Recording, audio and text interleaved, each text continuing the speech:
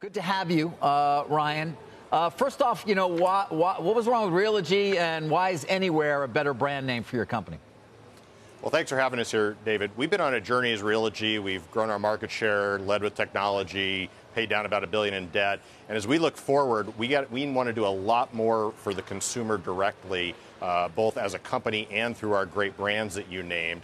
And so this was a good time to wrap up one chapter of the company and launch another and use the Anywhere brand to help meet consumers anywhere they are in their home buying and selling journey. All right, well, what does that mean? Where are you going to meet me in my home buying or selling journey that's different from where you're meeting me now?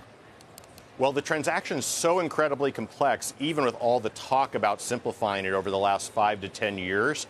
And between the scale that we've got, our title business, our mortgage business, along with our real estate businesses, we think we're in an advantaged position to actually make it a much more push button, simple transaction for consumers than the way it's done today. And we can do that across our six brands as the Anywhere company. And that's a lot of what we're going to be focused on for the next few years. Interesting. I want to talk to you more about the housing market as well. But I did notice that, you know, in your, uh, in your explanation as well for the rebranding, you're going to be a remote first company. And so let a lot of your employees live and work anywhere they want. Why is that? Well, look, you know, we have really benefited from remote work. We are recruiting people in geographies we've never been able to recruit them before. We're giving people the flexibility. They are happier.